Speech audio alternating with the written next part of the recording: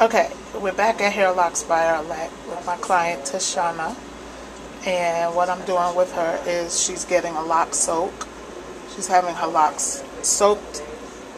As I wash them, I like to have the ends of the locks cleansed as well as the base. And what this does is it cleanses all the debris out of the lock. You can see how long Tashana's locks are. So we just let them soak in some water. And you can use whatever uh, shampoo that you prefer. I, of course, prefer the Jane Carter Solution um, Moisture Shampoo. And that's what I use.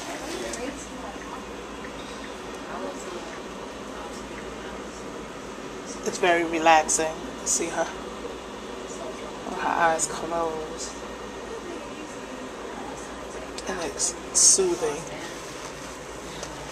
And it brings moisture to the ends of the locks as well as it cleanses it. And that's what we do in our salon. HairLoks by Arlette, www.hairloksbyarlette.com.